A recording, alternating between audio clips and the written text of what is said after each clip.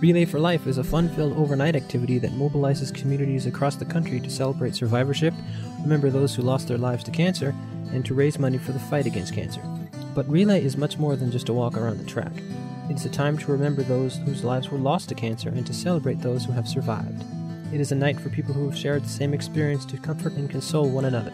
During this event, Relay honors survivors during the Survivors Lap, and Relay remembers those that were lost to cancer during the Luminarias ceremony. We also celebrate life, friendship, and a chance to work together toward a cancer free future.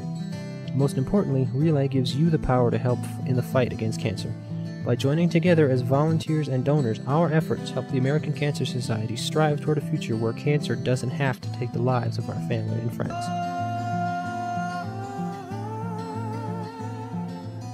Speeches from cancer survivors, live music, free food, a raffle, and a fun time are always a part of NAU Relay for Life, which starts Friday, April 20th at 6 p.m. and goes all the way until 6 in the morning on Sunday, April 21st at the Walkup Skydome.